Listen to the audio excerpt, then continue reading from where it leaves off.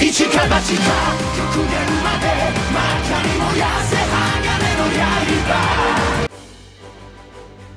はい、久々のスーパーロボット対戦なんですが、これ、まあ、しばらくちょっと止めてた理由としては、あまりこう、情報がないゲームだったんだよね。あまりその攻略を見ながらみたいなところっていうのはね、楽しみをそぐような気もするんだけど、結構このいろんなキャラクターが参加してるゲームなので、桜大戦のストーリーをどうやって進めることができるのかっていうことがね、わからない状態だったので、少しその、情報が整うのを待っていました。で、この画面の右側見てほしいんだけど、この桜、そしてね、この次に表示されていくエリカのね、スコアってところが50って書いてあるのがわかるでしょうかこれですね、私、この2年間チクチクと進めていって、さくらとエリカ、そしてま、もちろん大神タイガー、ジェミニのね、みんなを出撃を何回もさせました。主人公のね、アズが一番こうスコアが高いんですけど、ちょっとこの画面を見ていただきましょうか。パイロット一覧っていうところで、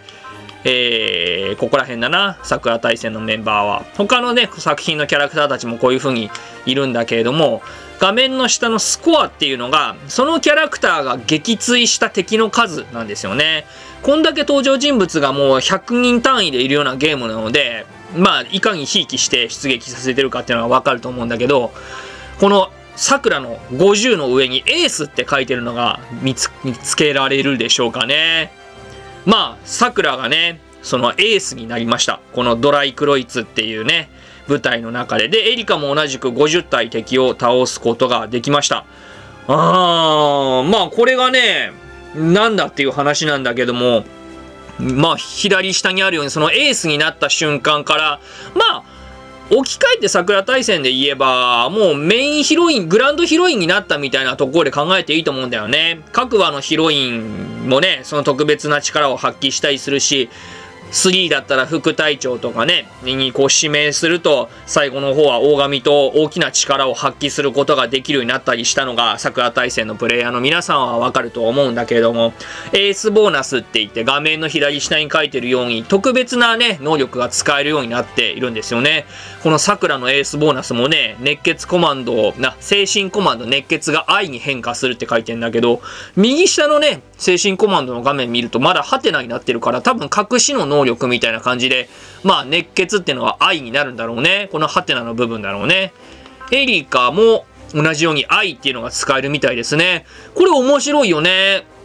やっぱりその、まあ、桜大戦って、硬派なゲームでもあるんだけれども、それと同時にやっぱりその隊員との絆っていうのをね、うん、表してる作品でもあるから、それをこの桜とエリカがそれぞれ愛っていうものにね、使うっていうのが、うん、かなり期待が持てますよね。どんなことができるのかってね。まあもちろん、タイガやジェミにもね、ちょっと育てていきたいなと思っています。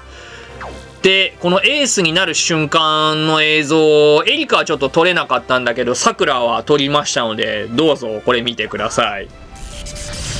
これが覇者の決闘新宮寺家に伝わる奥義です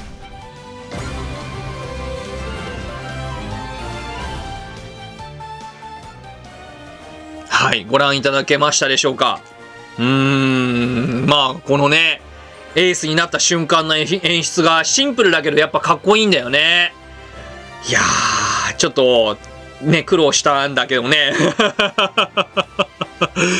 ここまで長かった2年間ね、いろんな合間見つけてやってましたので、結構大変なゲームではあるからね。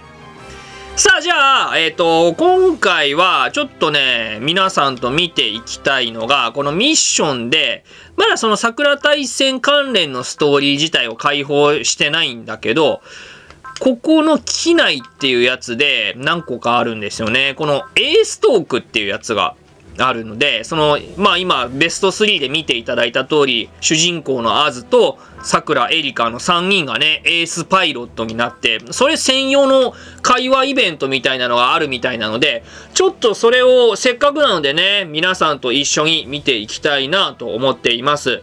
うーん、このね、主人公とね、まあこの右側のちょっと、プロットを見ていくとね、主人公はエースパイロットとなったエリカを祝福するとか、主人公は桜を祝福するっていう風に書かれてるんだけど、やっぱりね、この作品の主人公のアズもね、すごくいい子でね、うん、この、スパロボの本編の部分というか、そのストーリーの本筋の部分はね、このチャンネルで紹介していくのは割愛しているんだけれども、うん、そのアズっていう主人公とエリカ・さくらが関わりを持った時のこの良さっていうのが、まあ、このゲーム作品チャンネルで一番最初に見たコラボ作品がスタリラ・レビュースターライトだったんだけど、うん、あれでもね、そのさくらたちが他の作品の登場人物たちと関わりを持ったことで新しい表情を見せてくれた感動があったからね。それでまあこのスーパーロボット対戦っていうのをねあの触れてみたっていう経緯があるんだけどねちょっとこの2人の会話を見たいなと思います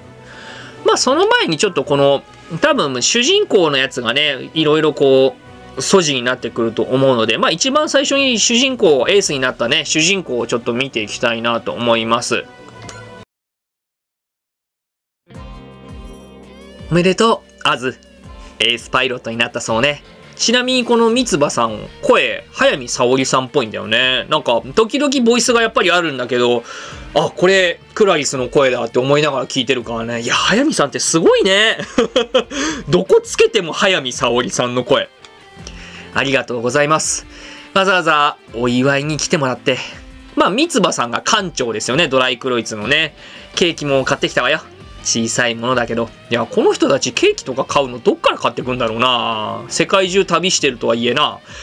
館長に会う前の頃、兄さんに誕生日を祝ってもらった時のことを思い出します。ありがとうございます、館長。私に戦う意味を教えてくれて。アズ、あなたは戦いが終わったらどうするつもり？毎日が必死で先のことを考えたことはないです。いやまあ彼女たちがやってることなんて私たちの生活と比べるのは無理だけどでもなんか大人になると本当そうだよね毎日が必死でさこの先どうなんだろうって考える余裕がないよねなんかね30年の歴史がある作品なだけあってちょっと考えてしまうわ同じようなこと感じてる同世代の人いっぱいいるんだろうなじゃあよかったら私も一緒に考えるわ。館長が？いや。いえ。嬉しいです。どうしてもやることが見つからなかったら少しの間だったら私が面倒を見るわ。だからたっぷり悩んでいいわよ。そんなこと言われたら私甘えちゃいますよ。その日を迎えるためにも一緒に頑張ろうねあず。はい。この先どんな困難が待っていても私は大丈夫です。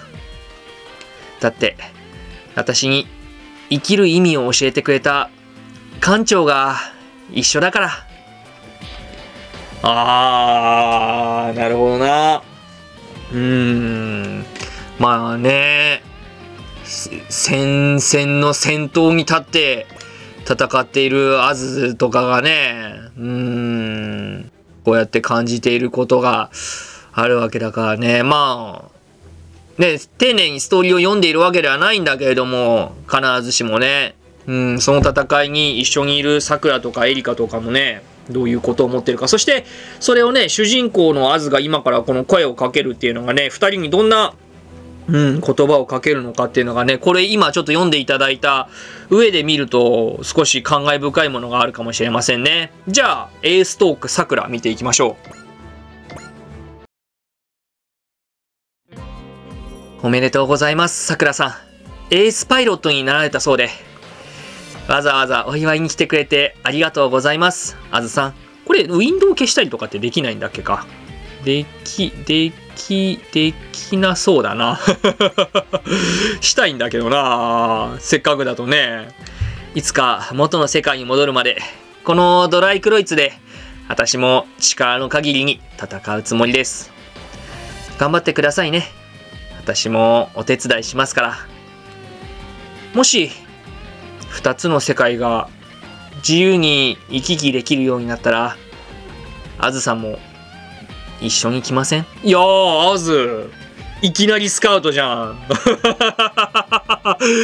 この先どうするか悩んでいた直後にね。ね、なんか来てほしいよね。うん、他の作品でもね、桜たちの世界に行ってみたいっていうセリフがね、あったけれども、ね、この大正ロマンあふれる世界にね、いろんな人たちが来てくれたら嬉しいよね。私が、ですか？ええ。あずさんなら、帝国歌劇団の一員になれると思いますし、あ、歌劇団こっちの漢字表記にしているっていうことは、舞台の上での才能の方を見抜いているっていうことかな。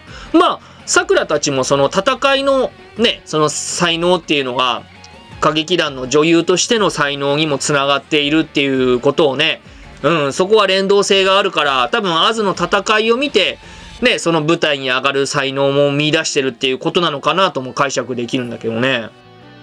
歌劇団ではなくて、歌劇団ですか？ね、そこが意外だよね。舞台や歌の方にスカウトっていうのが意外だよね。そうです。あずさんは小柄だから娘役が似合いそうですし、そうだね、娘役は欲しいだろうね。一生懸命だから。あ、いいね。一生懸命じゃなくて一生懸命の方を選ぶあたりが桜の人柄を表してるような感じするね。歌もダンスも上手になると思います。私も付きっきりでコーチしますから。いや、なんか、後々のね、アナスタシアと雨宮さくらの関係性をちょっと彷彿とさせるよね。華やかな舞台の世界。少し憧れてしまいます。でも、そういうのって恥ずかしくて。ふふ。でも、一度でもスポットライトが当たると、そんな気分、吹っ飛んじゃいますよ。ああ、いや、桜もそうだったのかな。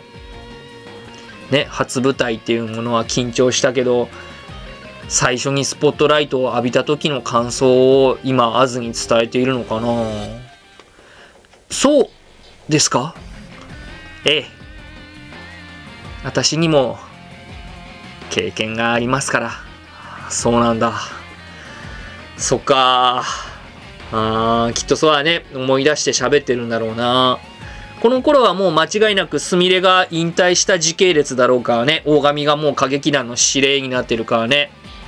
もうスミレがいない帝国歌劇団花組を桜が率いてるわけだろうからね。舞台の上で。でも、そのためには、分かっています。この世界に平和を取り戻すために、一緒に頑張りましょうね。はい。これからもよろしくお願いしますね。さくらさん。いやー、ちょっといい話じゃん。あー、いいなやっぱこのアズとサクラの出会いっていうのがね、すごくいいな主人公をね、この女の子のアズにしたことによってこそ読めるストーリーだと思うしね。まあ男性の主人公にしたらどんな話だったのかなっていうのもちょっとその分気になってくるんだけどね。あー、そっか。うん、その戦いの才能を見て、センスを見てっていうんじゃなくて、アズのね、その舞台に上がる姿っていうのを彼女の素直な女の子としての可愛らしさっていうところから、桜が声をかけたっていうのがね、嬉しいよね。うん、その桜たちにとってはその元の世界に戻ることが目的なわけだけれども、でもそれさえできたらいいっていうんじゃなくて、やっぱりこのドライクロイツの仲間たちを大事にして、うん、主人公であるアズを中心にみんなとの絆っていうのをここで深めているっていうことがね、私たちがその桜大戦、まあ桜はね、主に出てくるのは4までになってくるわけだけれども、それ以降の物語を知らないんだけれども、でもその中でもね、こうやって私たちの見えないところに桜たちが行っていて、そこで新しい仲間たちと、うん、今までの戦いと同様に乗り越えて、手をつないで乗り越えていって、うん、仲間に声をかけていたっていうのがわかるワンシーンでしたね。いやー、見てよかった じゃあ続いて、エリカも見ましょうか。エーストークエリカ。主人公はエースパイロットとなったエリカを祝福する。いや、これとかどうなんだろうね。また場所が違うね。おめでとうございます、エリカさん。エースパイロットになったんですね。ありがとうございます。これもすべて神様のおぼし飯ですね。いやー、そうかそうか。なんかエリカはなんてねうーんまあ家なき子として生まれてきてシスターとして祈りをうんね続ける毎日でさくらとはまた違ってね戦いを自分がするっていう覚悟で生まれてきたわけではないからね生まれ育っていったわけじゃないからねそれを神様のおぼし飯って考えるっていうのがねうーんエリカらしいな。神様ですか。エリカさんはシスターなんですね。はいそうですね。人助けとかすっごく得意なんですよ。まあ本人はそう思ってるだけだけどな。あずさんももし悩んでいることがあったら何でも相談してくださいね。あずはこれを聞いてどう受け止めんだろうな。エリカがバーンと解決しちゃいますから。ありがとうございます。では食事が終わったら少し話がなんかあるんだろうな。嫌な予感がするな。わかりました。では急いでご飯にしましょう。私取ってきまーす。えー、キャー。大変だ大変だ。だ大丈夫ですかエリカさん。えへへ。ちょっとバランスを崩しちゃいました。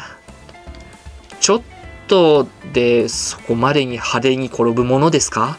まあなドラマチックダンジョンで持ってるアイテム全部こぼすような人だからな。毎回こうねえ5分に1回ぐらいドテーンって効果音が聞こえてエリカがアイテムを落としたって言って全部ぶちまけてるからね。すみませんお皿とかいろいろ散らかっちゃいましたね。そういえば大神さんが言ってた。エリカさんが人助けしようとすると想像もしなかったような騒動になるって。ちゃんいいね大神さんちゃんと大事なこと伝えてるねあずにね。あずさん片付けを手伝ってきますから手伝うとかじゃなくておめえがこぼしたやつだから手伝われるのはエリカの方だろ？片付けを手伝ってきますからお話ちょっと待っててください。そそっちは気にしないでください。わ私の気のせいでしたから。わ私も手伝いますからまずは片付けをしましょう。そうですか？じゃあまた何かあったら気軽に声をかけてくださいね。気軽な相談が船を巻き込む大騒動になりそう。でもありがとうエリカさん。エリカさんの優しさはちゃんと伝わりましたから。いやーアズがいい子っていうことが分かるだけのストーリーでしたね。えっと、まあ今ミッションがね、ちょっと、えー、ここまででもつぶやいた通り、まだその桜大戦関連のね、メインのお話がちょっと出ていないっぽいので、ちょっとこの辺解放することができたら、また次ご紹介したいなと思います。この3ユニットバトルとかも面白かったなまた、ちょっと大神とか大河とかね、ジェミニとかも、うん、能力が上がったらまたちょっとやってみようかなと思います。いやー面白いね。今回はこのぐらいにしようかな。はいじゃあご視聴ありがとうございました。では見てくれた全国の隊長にけれ